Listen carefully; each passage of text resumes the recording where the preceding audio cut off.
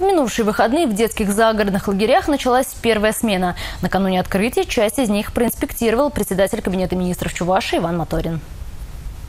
Числе инспектируемых учреждений три лагеря различной формы собственности – «Звездный», «Солнышко» и комплекс «Чайка». Комиссия во главе с Иваном Моториным пристальное внимание уделяла вопросам безопасности детей, наличию пожарной сигнализации и видеонаблюдения на территории лагерей. Не остались без внимания и проведенные ремонтные работы, пищевые блоки, спальные корпуса и игровые площадки. Первая смена называется www.звездный.ру.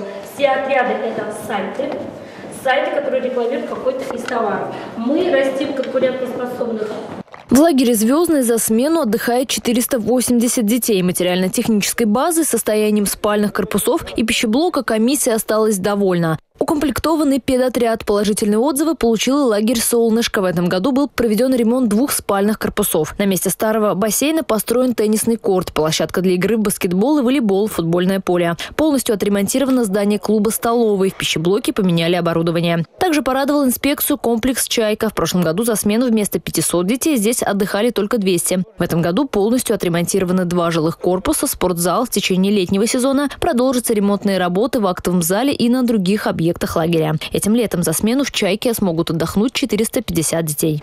Все три лагеря готовы к сезону и в ближайшее время примут детей.